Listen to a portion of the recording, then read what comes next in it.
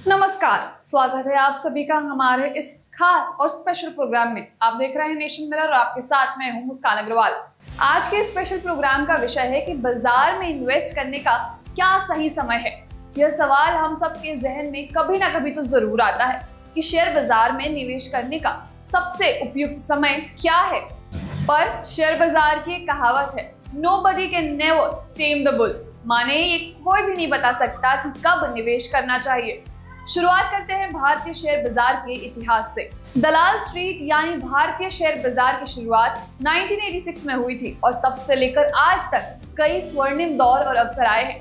2006 में पहली बार सेंसेक्स ने 10,000 पॉइंट्स का आंकड़ा छुआ और देखते ही देखते 2007 में यह 20,000 पॉइंट्स पर पहुँच गया। लेकिन 2008 की वैश्विक मंडी के चलते सेंसेक्स करीब 61 प्रतिशत गिर गया था।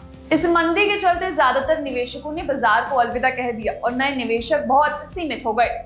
लेकिन बात करें 2010 की तो जैसे ही दुनिया मंदी से उभरी सेंसेक्स वापस अपने पुराने स्तर पर पहुँच गया। 2017 तक संभलता संभलता सेंसेक्स 30,000 पॉइंट्स पर पहुँचा। इसके बाद शुरू हुआ भारतीय शेयर बाज़ार का स्वर्णिम दौर।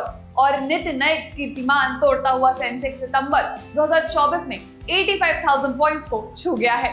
तब से लेकर आज तक बाज़ार ने निवेश के कई मौके दिए और जिसने धैर्य और समझदारी दिखाई उनसे भर भर कर मुनाफा भी कमाया।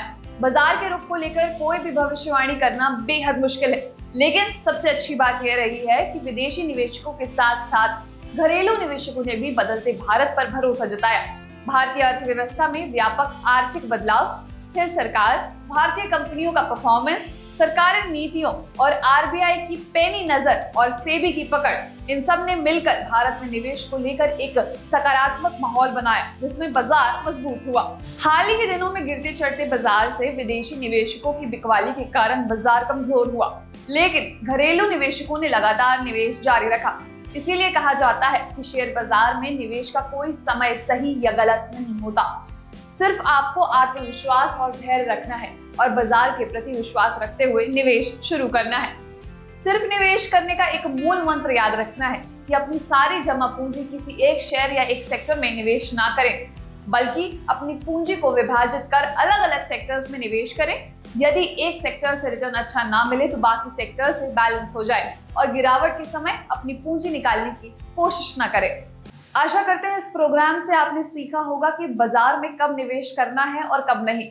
मिलते हैं अगले प्रोग्राम में, तब तक के लिए देखते रहिए, पढ़ते रहिए और सुनते रहिए नेशन मिरर